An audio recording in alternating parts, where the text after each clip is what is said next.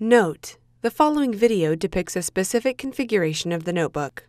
The same removal and replacement procedures apply to all configurations of the notebook. Before you begin, remove the base enclosure and fan. Removal Note: The heatsink has numbers adjacent to the following four screws. Loosen the four captive P1 Phillips head screws that secure the heatsink over the processor in numerical order.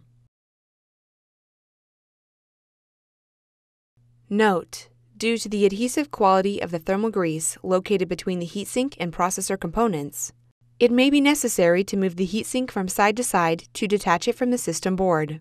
Remove the heatsink from the system board.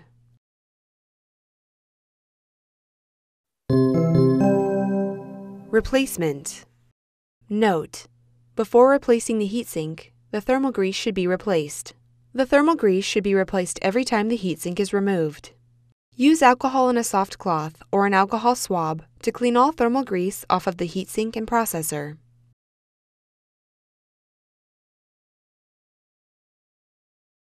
Use the thermal grease applicator to apply the proper amount of thermal grease to the center of the processor core.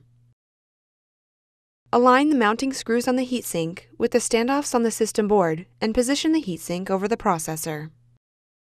Tighten the four captive P1 Phillips head screws that secure the heatsink over the processor in numerical order.